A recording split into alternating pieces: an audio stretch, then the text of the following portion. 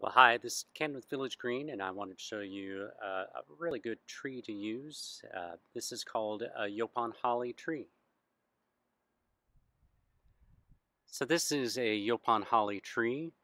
This is about as tall one as, as you're going to find. It's This one is probably about 25 feet tall or so, um, and the spread is also probably a good 20 feet or so. Um, the thing that's great about it is that it doesn't drop a ton of leaves. So it can be used around swimming pools. Um, it, uh, it can have berries on it if you choose the female variety, which can be very pretty.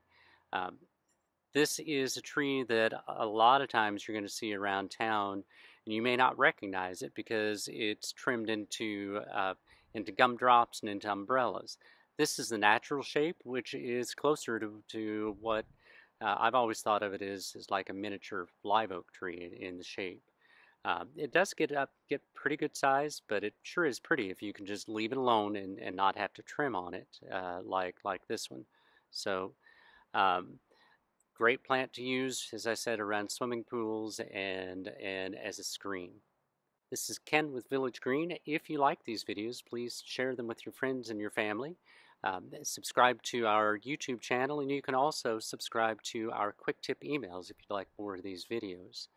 Um, Ken with Village Green, your neighborhood landscape company.